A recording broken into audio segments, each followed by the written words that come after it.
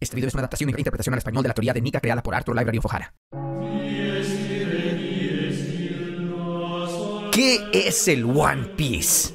¿Alguna vez ha notado que si traduces la letra del saque de Vince del japonés, esta relata la historia exacta del siglo vacío? Cuando nos detenemos a analizarla se pueden encontrar escondidos muchos secretos de la historia, incluyendo la verdadera identidad del One Piece. En este video vamos a abordar cada misterio de esta historia, quiénes fueron realmente los habitantes del reino antiguo, el país de los dioses, el verdadero origen de las frutas del diablo y el rey del mundo, Imsama, el propósito de las armas ancestrales, el significado de la D y la verdadera identidad de Joy Boy. Pero quédate hasta el final porque incluso les voy a decir, basado en todo este análisis, lo que yo creo que es el tesoro de One Piece. Y cuando finalmente te enteres, va a cambiar la manera en la que entiendes, no, la manera en la que ves One Piece. Se te va a poner el mundo de cabeza al punto de que justo como le pasó a Roger, se los prometo, no van a poder hacer otra cosa sino reír. De verdad que no estoy exagerando. Esta es la culminación de la serie de videos El Camino al One Piece, videos inspirados y traducidos de Arthur Library of O'Hara, quien como muchos de nosotros ha dedicado su vida al estudio de One Piece, teorías, análisis, especulaciones de toda la comunidad que nos llevaron a esta conclusión. Y les prometo que para el final de este video habrán escuchado la mayor teoría jamás creada de qué es el One Piece. Así que vayamos al grano desde el principio.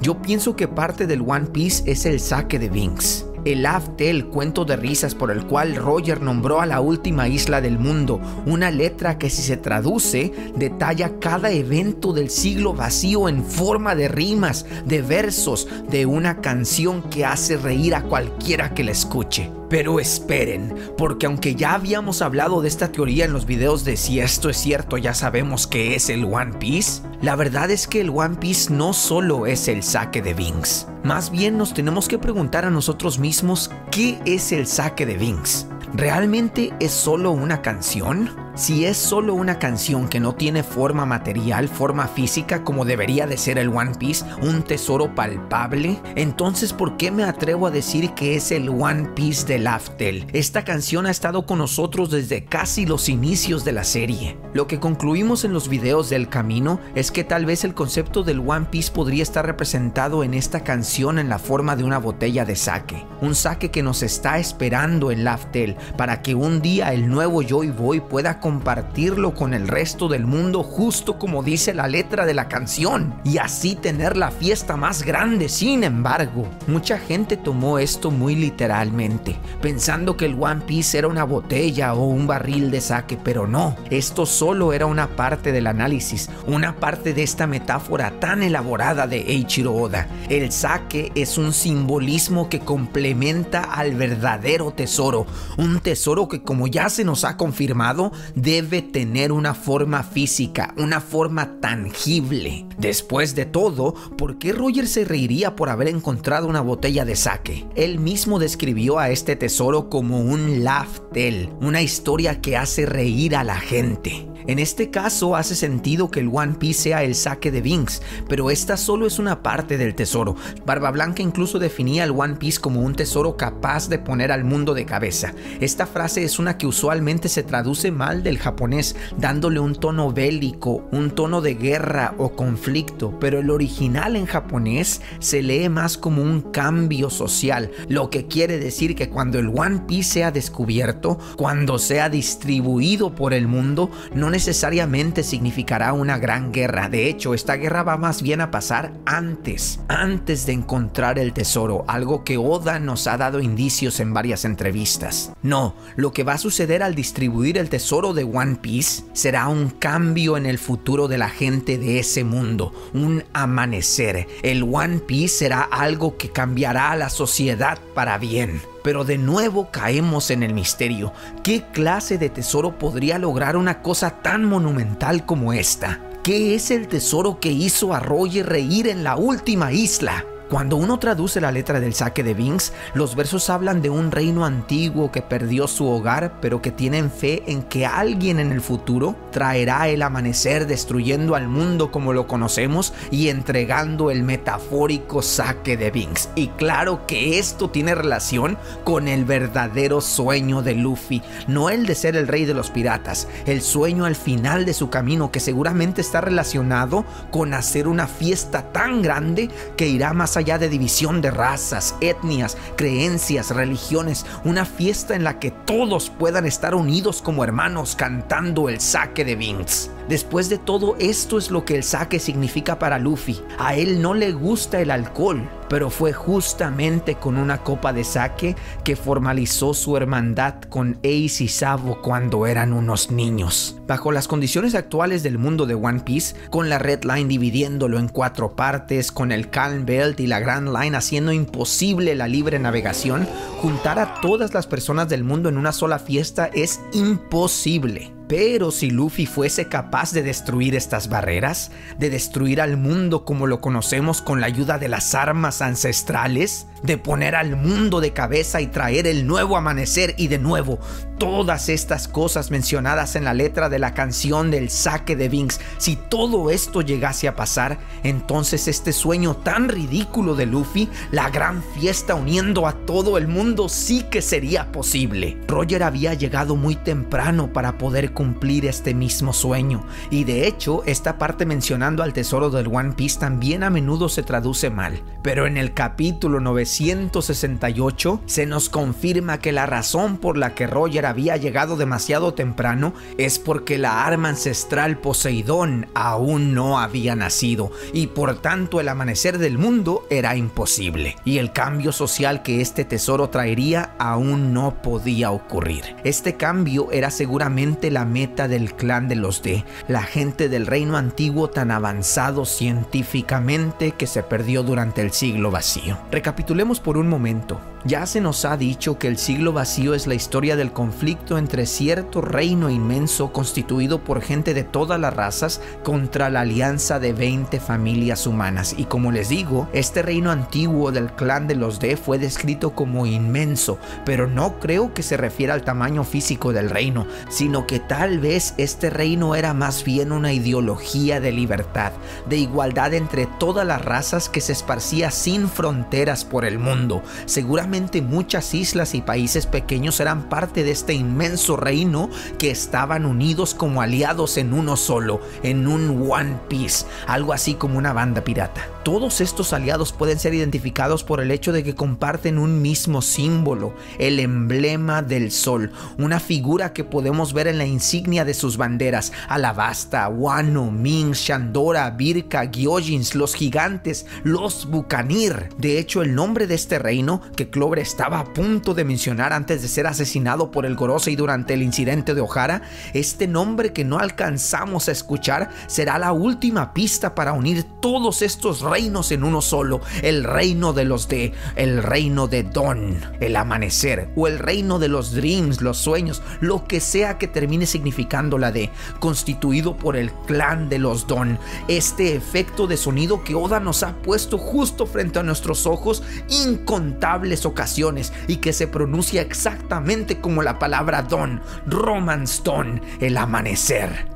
Y esto es porque la meta de este reino era el amanecer del mundo, una nueva era en la que toda la gente del mundo pudiera vivir bajo el mismo sol, lo que la reina Otohime siempre decía, que el sol era el símbolo de igualdad, de unidad y de amistad. Esta idea fue simbolizada en la forma de Joy Boy, una figura legendaria del siglo vacío por la cual esclavos y la gente oprimida de todo el mundo rezaba en los momentos más oscuros de su vida venerando al dios del sol, viéndolo como la reencarnación del sueño máximo de la humanidad, la libertad.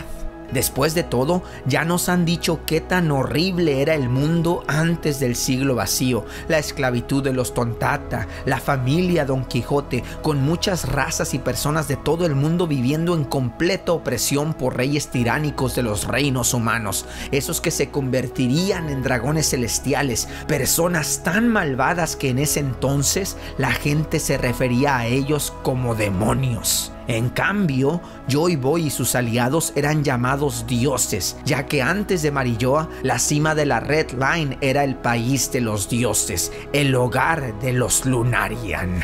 Y como King nos confirmó, los Lunarian eran aliados de Joy Boy. Esto es porque los Lunarian, como su nombre lo indica, eran parte de las razas que descendieron de la luna, razas que trajeron al mundo la tecnología tan avanzada que formó parte del reino antiguo, la tecnología que Vegapunk descubrió en el robot gigante ancestral de Egghead, la fuente de todos los avances tecnológicos actuales, producto de la ingeniería inversa, tecnología que ya conocíamos antes gracias a la mini historia de Nell en la luna, los robots autónomos que vivían allá. Esto es para que nos reviente la cabeza, porque incluso el mural de jeroglíficos que vio en él en la luna tiene escrito el lenguaje de los poneglyphs mucho antes de que los Kozukis enseñaran a escribirlo antes del siglo vacío. Estas razas que descendieron de la luna compartieron su tecnología con el mundo y uno de sus avances científicos más importantes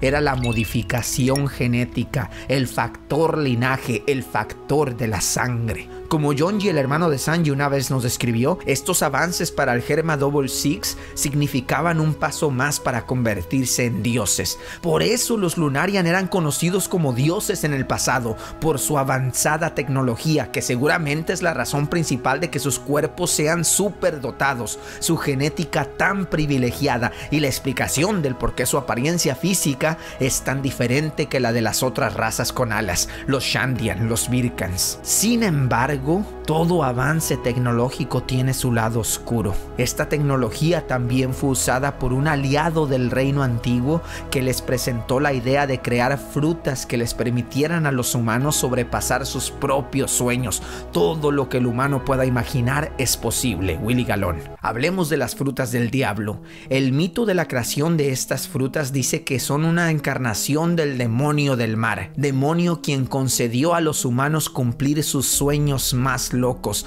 pero maldiciéndolos con ser débiles ante el mar para siempre. Pero como ya explicamos, los demonios del siglo vacío no son otros que los 20 reinos humanos que esclavizaban a otras razas, lo que significa que el demonio del mar que creó las frutas tuvo que haber sido uno de esos 20 reinos, la familia Nerona Imu. El mito dice que Umi, el mar mismo, Umi como se dice en japonés, odiaba tanto a los usuarios de las frutas del diablo que los condenaba a hundirse en el mar. Pero la verdad detrás del mito podría ser que Imu, Umi al revés, el demonio del mar, intencionalmente hizo que la debilidad de las frutas fuera precisamente el mar para que los que comieran estas frutas nunca pudiesen oponerse ante su poder.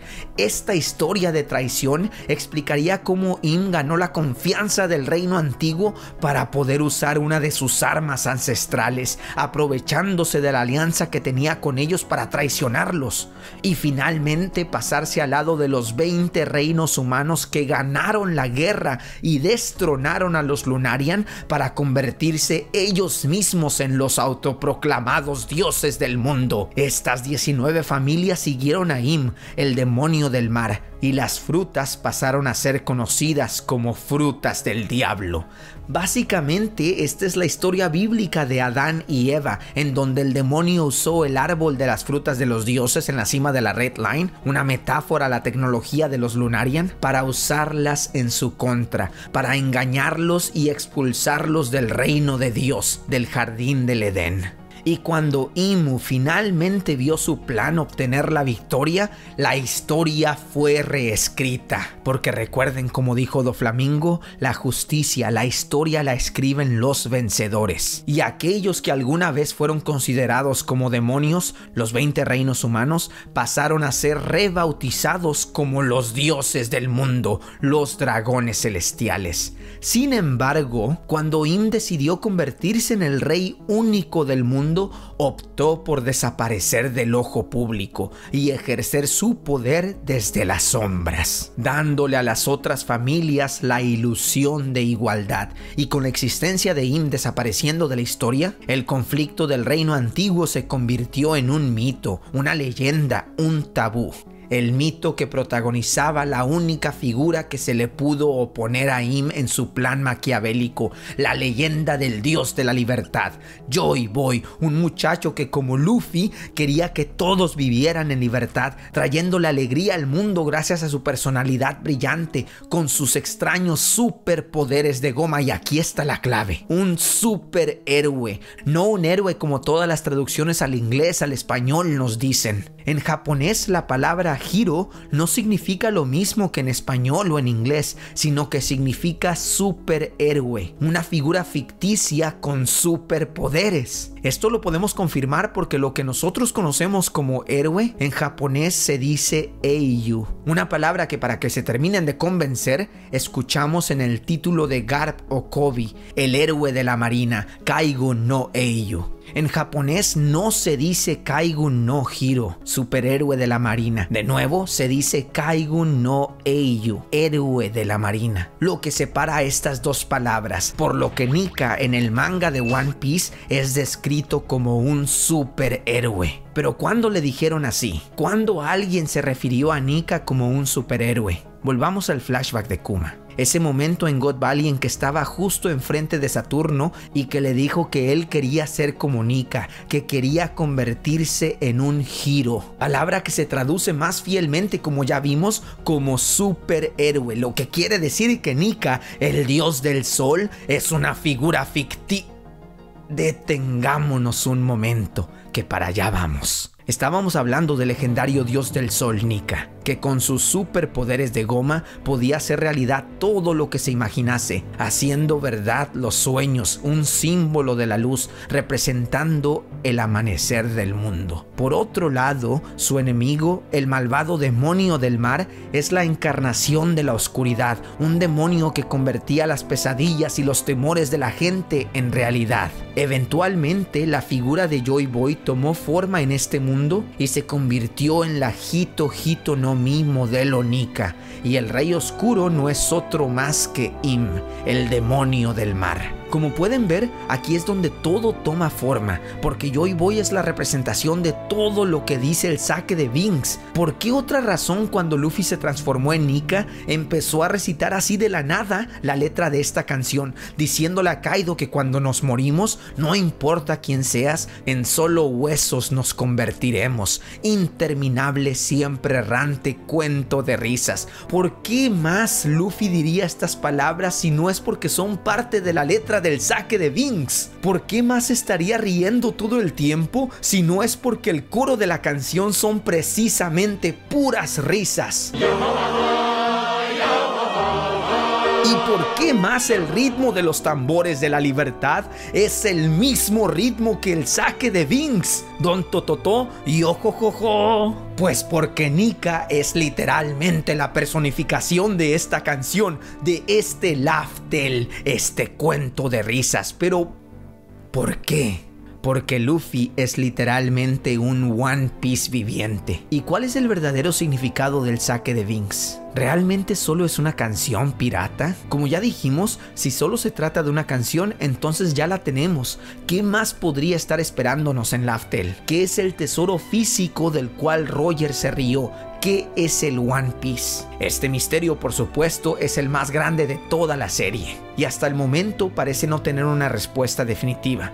Así por separado, nada de esto que estoy diciendo tiene sentido, pero si tratamos de poner este misterio de cabeza, si lo vemos desde otro ángulo, de repente todo cobra sentido. La razón por la que nadie ha podido resolver este enigma es porque todos nos habíamos estado sentando en suposiciones falsas que teníamos de Joy Boy, pero que nunca fueron confirmadas en el manga, porque Joy Boy no es una persona real. Ojo que no estoy diciendo que Joy Boy no haya existido. Más adelante vamos a explicar eso. De hecho, si releemos el manga, nunca se ha dicho que Joy Boy era necesariamente un humano real. En la explicación que le dio Neptuno a Robin la primera vez que se habló de Joy Boy en todo One Piece, Neptuno lo llamó un personaje un personaje que existió en la superficie del mundo. De hecho, varias personas como Who's Who traen la misma cuestión a la mesa, que si realmente Joy Boy existió o si era un sueño de los esclavos. Y aquí es cuando uno se da cuenta, cuando uno se pregunta qué significa el nombre de Joy Boy, el muchacho alegría ¿Qué clase de nombre es ese? ¿Es un título? ¿Un apodo? ¿Un epíteto? No, es mucho más simple que esto. Joy Boy es el nombre de un superhéroe tal cual Superman y otros superhéroes, incluso japoneses como Astro Boy, o también dentro del lore del One Piece, donde en el North Blue leen las historias de Sora, el superhéroe Sora, el guerrero del mar. Así, Nika es un superhéroe de una historieta, el guerrero de la libertad. Un muchacho cuyo superpoder es ser de goma y traer alegría y libertad a la gente. Démonos cuenta, después de todo se reveló que Luffy comió una Zoan mitológica. Mitológica, lo que quiere decir que Nika, Joy Boy, es una figura producto de un mito, o más bien, un personaje ficticio. En el mundo de One Piece, Joy Boy es el protagonista de una historieta, el cuento de risas que es el One Piece. El tesoro del One Piece que encontramos en la última isla es la versión del manga del saque de Vinx, la historieta de Joy Boy.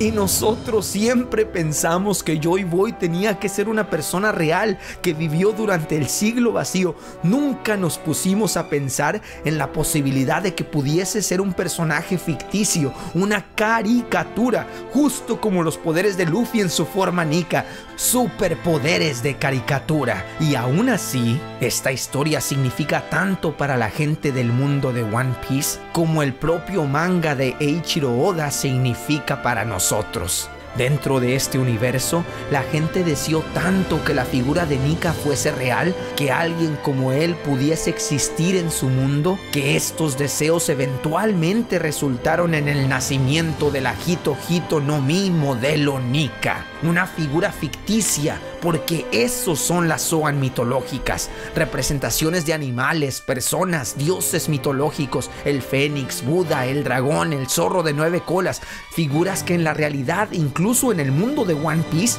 no existen. Y ahora, como ya les había dicho, no me malentiendan. No estoy diciendo que un Joy Boy real no haya existido. Después de todo ya se nos confirmó que su Nisha era su Nakama. También incluso está el Poneglyph, la carta de disculpa que él mismo escribió para la princesa Gyojin. Joy Boy sí fue una persona real durante el siglo vacío y si quieren saber su nombre, esperen un poco más. Así que toda esta teoría con la existencia física de Joy Boy aún tiene sentido, porque simplemente en el mundo de One Piece sí que existió gente que lo encarnaron con su fruta, personas como Luffy que hace 800 años se convirtieron en Joy Boy. Es posible que la historieta de Joy Boy ya haya existido durante el siglo vacío, que esta fue la historia que inspiró al reino antiguo a buscar la libertad, a traer alegría al mundo y de esta manera el sueño de convertirse en Joy Boy, de ser como el personaje de la historieta, el mismo sueño que tenía Kuma, se haría realidad en forma de la fruta Nika, haciendo a esa persona, la persona que consumiese la fruta Hito Hito, el Joy Boy de esa generación. ¿Y quién pudo haber sido el Joy Boy del siglo vacío?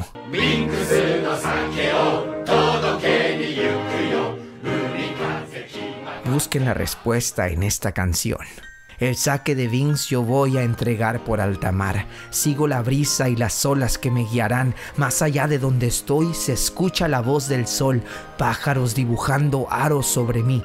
Puerto de mi corazón, adiós a mi dulce hogar. Cantando con don, mi barco empieza a navegar. Oleadas de oro que se convierten solo en sal mientras vamos juntos a los límites del mar. El saque de Vince yo voy a entregar por alta mar. Piratas, eso somos navegando el mar. Olas arrullándonos, este barco es nuestro hogar. Calaveras ondeamos con mucha dignidad. A lo lejos puedo ver, la tormenta llegará. Al compás de los tambores baila todo el mar. Si pierdes la calma aquí, dejarás de respirar. Pero si resistes, el mañana llegará. Y ojo, y ojo, el saque de Vince yo voy a entregar por altamar. Será hoy o mañana o en la noche gris. Sombras que dicen adiós, no nos veremos ya más. Sonríe, pues la luna mañana saldrá. El saque de Vinx yo voy a entregar por alta mar. Cantando con don las olas bailan su canción. Nadie es tan especial, en huesos se convertirán. Interminable, siempre errante cuento de risas fue Binks. Joy Boy era Binks. Binks fue quien dejó el tesoro en Laftel y lo habíamos tenido en nuestra frente por todo este tiempo. Porque la gente lo deseó, la fruta Hito Hito modelo Nika nació. Vegapón nos explicó que su teoría es que las frutas del diablo nacen porque la gente tiene deseos, ¿verdad? Joy Boy nació de los sueños de la gente, justo como Hus Hu nos explicó también. Los esclavos lo soñaron y por lo tanto, nosotros concluimos, hicieron a Nika real. Convertirse en Joy Boy no es heredar un título, simplemente se refiere a aquellos que la fruta eligió para después de comerla convertirse en este personaje. Y la gente del reino antiguo sabía que alguien en el futuro representaría la personalidad de Nika, alguien que pudiera convertirse en Joy Boy, heredaría así la voluntad de ver un mundo libre. ¿Y qué tal si exactamente lo contrario pasó con Im? Tanto como Joy Boy, Im también parece ser un personaje caricaturesco en sus transformaciones, con una cola del diablo y todo. Fue un rey del siglo vacío que tal cual Joy Boy también se convirtió en un personaje de esta historieta, el demonio del mar, el villano de la historia de Joy Boy, lo que explicaría por qué estos dos personajes son la representación de la luz y la oscuridad. Pero incluso si no queremos ver todas estas conexiones, basta con echarle un vistazo a la quinta marcha de Luffy, literalmente una caricatura proveniente de un cómic, una historieta o un manga. Kaido mismo lo dijo en su pelea contra Luffy, que esta nueva forma parecía sacada de un cómic. Es por eso que los ataques de Luffy Nika son tan caricaturescos, irreales, locos, ridículos, porque la historia de Joy Boy hace a la gente reír. Un cuento de risas, Laftel, un cómic divertido que cuenta la historia de cómo Joy Boy, el guerrero de la libertad,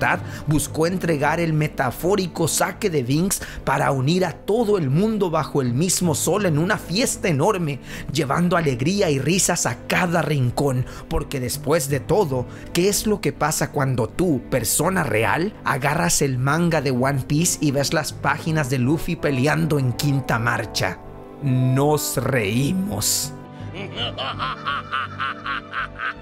Es divertido, chiflado, tonto, loco, de manera que nos hace reír.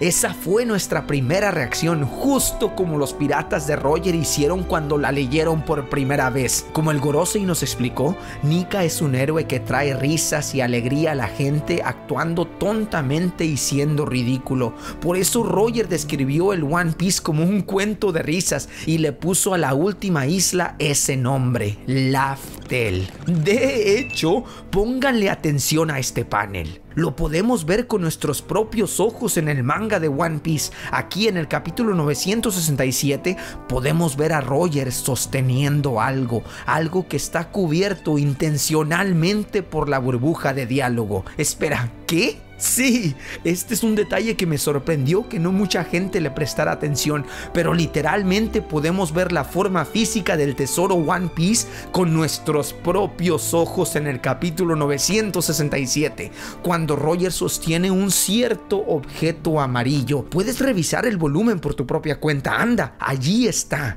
Este no es un error de imprenta, tampoco es algo como el abrigo de Roger o su espada, no, créanme, lo he revisado exhaustivamente, es más bien un objeto tangible, palpable que Roger está sosteniendo en sus manos mientras que su mirada está viéndolo directamente, como leyéndolo, exclamando, oh, oh Boy, qué ridículo tesoro nos has dejado, qué ridículo Y es que aquí Roger literalmente está describiendo el cuento de risas de Joy Boy, porque Roger sin lugar a dudas estaba sosteniendo lo que parece ser un papel amarillento, como las páginas de un libro. ¿Quién sabe? Si quieren ser más atrevidos, el volumen 1 del manga de Joy Boy, el saque de Vince, el One Piece. Roger ese día les leyó Peak Fiction a sus nakamas, la mejor historia, el mejor manga, y por eso los vimos a todos riendo,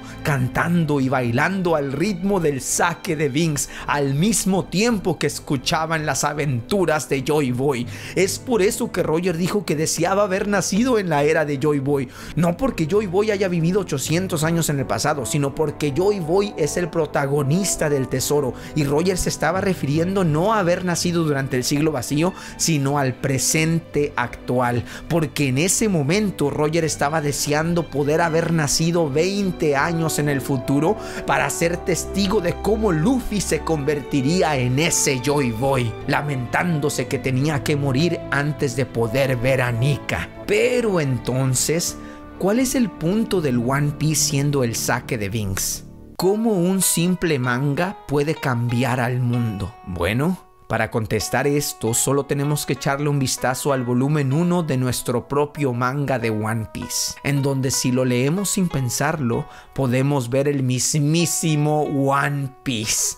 El manga es nuestro One Piece, el manga de Eiichiro Oda. Porque para preguntarnos cómo el tesoro llamado el One Piece que está en Laftel puede cambiar al mundo, primero necesitamos preguntarnos a nosotros mismos, ¿cómo el manga de One Piece me ha cambiado a mí? ¿Cómo te ha cambiado a ti la vida? A primer vistazo, One Piece parece ser un manga, un anime ligero, tonto, incluso ridículo. Mucha gente ni siquiera comienza a verlo o a leerlo porque los dibujos son muy diferentes a todo lo demás, muy caricaturescos. Miren todos estos diseños únicos, exagerados de personajes. Miren a Señor Pink. ¿Quién imaginaría que este personaje tiene una historia fascinante detrás de él? One Piece parece un manga gracioso con la única intención de pasar un buen rato, pero cuando te adentras en la historia, empieza a darte cuenta que es mucho más que eso, que One Piece es una historia profunda, una que aborda temas sociales muy serios, problemas existenciales, filosóficos, que aluden a la vida real, a las comunidades y países de nuestro mundo. Y es que One Piece logra explorar todo esto al mismo tiempo que es una historia divertida de piratas que está diseñada para hacerte reír, una que te enseña a ser una mejor persona y compartir esa alegría con los demás. Mucha gente que ha empezado a leer One Piece, con los años van cambiando, mejorando su nivel de humanidad. One Piece nos enseña a ser empáticos, a ponerte en los zapatos del otro, a condenar la desigualdad, la injusticia. Y hablo por cuenta propia, de no haber sido por One Piece y la música, claro, mi vida con cada momento oscuro por el que he pasado se habría ido por un rumbo muy distinto en lugar de ser feliz y querer compartir esta alegría con los demás. One Piece nos enseña a tirar a la basura el odio, el racismo, el clasismo, la discriminación, la segregación, el miedo, para nutrirnos en su lugar con la alegría, la risa, la unidad y la igualdad, para convencer a la gente del mundo a ser más cercanos, a festejar, a compartir esta vida. Y así como nuestro mundo real, lo mismo podríamos decir del tesoro en Laftel, el One Piece, una historieta que contiene la trágica verdad del siglo vacío, como un tirano engañó a sus aliados con temas súper profundos, pero con un estilo caricaturesco. Digo, y es que ¿cómo podemos cambiar al mundo? Nosotros solamente podemos hacer lo mejor que podamos, pero realísticamente hablando, los que pueden cambiar el futuro son los que lo van forjando, las futuras generaciones, los niños, un tema que se ha establecido muy claro en One Piece. Los adultos seguirán teniendo prejuicios ante las otras razas, pero no enseñemos esos prejuicios a los niños. Importante que los eduquemos porque ellos se van a convertir en los adultos del futuro, enseñarlos a pensar libremente, a superar esos prejuicios, a compartir el amor, la alegría con otros. Y si bien una buena educación es esencial para lograr esto, la verdad es que una historia, un cuento, es mucho mejor manera de pasar esta enseñanza. Una más efectiva porque los niños que lean One Piece en nuestro mundo, el saque de Vince en la historieta de Joy Boy en este mundo ficticio, caerán enamorados con esta historia querrán representar los valores aprendidos, ser como sus personajes favoritos. Yo quiero ser como Luffy, yo quiero ser como Joy Boy. Y es así como el tesoro del Aftel, el One Piece, va a cambiar al mundo poniéndolo de cabeza. Si la historieta del saque de Binks es llevada a todos los niños y personas del mundo, las nuevas generaciones van a crecer siendo mejores personas, van a entender no solo la verdadera historia del mundo, sino querrán representar esos ideales, esos valores mostrados en la historia, compartir el mundo con fiestas en lugar de guerras. Y aquí es donde Imu, que es lo opuesto total a Joy Boy, recuerden, el que gana la guerra escribe la historia, creó la historieta de Sora, el guerrero del mar, una historia que le enseña a los niños del mundo de One Piece que el poder lo es todo, ejerciendo propaganda del gobierno mundial a las mentes de los niños. En cambio, el manga de Joy Boy cuenta la historia real, los ideales de la gente del reino antiguo, pero de una manera divertida, para que esos temas puedan impactar a futuras generaciones, justo como pasa en el mundo real. Que incluso en el escenario de que leas One Piece, pero no estés al tanto de todos los temas sociales, filosóficos, existenciales, One Piece en toda su profundidad, de todas formas, este manga aún te contagiará de alegría. Cada vez que veas a ese muchacho de goma yendo en sus ridículas aventuras, te vas a reír, te va a dibujar una sonrisa en el rostro, liberándote por un momento de las preocupaciones y las penas del mundo real. Ahora, no estoy diciendo que Oda va a romper la cuarta pared y que se vaya a insertar a él mismo en la historia como el autor del manga de Joy Boy, sino que el tesoro que está en Laftel es una representación simbólica de cuán importante el manga de One Piece es en la vida real, el impacto que ha tenido en la vida de todos los que lo hemos leído. Y es que el verdadero tesoro es mucho más que los amigos que hicimos en el camino, una botella de saque, una historieta de papel. El tesoro es la aventura, el manga que agarramos por primera vez para encontrar nuestro propio One Piece, solo para darnos cuenta que estaba allí frente a nuestros ojos todo este tiempo. Era la mera experiencia, todas las memorias, los momentos emocionantes, los amargos, todo lo que compartimos con la comunidad, la alegría, las lágrimas y las risas que esta simpática historia de un muchacho de goma nos ha traído. Todo esto exactamente es lo que significa el verdadero tesoro del One Piece la historia que nos ha inspirado a todos a seguir viviendo, a seguir amando y seguir compartiendo esta alegría con todos. Pero el tesoro físico sí existe, es la historieta de Joy Boy. Porque no hay un tesoro más grande que la misma historia que nos une a todos en una sola pieza, en el One Piece.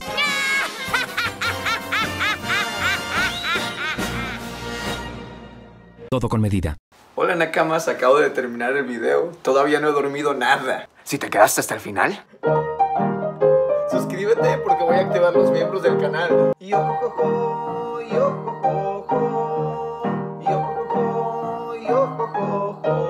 Hazte miembro del canal. Te agradecemos el apoyo. ¡A la la voluntad heredada, el destino de la nueva era y los sueños de la gente. Mientras las personas sigan persiguiendo el significado de la libertad, estas cosas nunca dejarán de existir. Goldie Roger, rey de los piratas.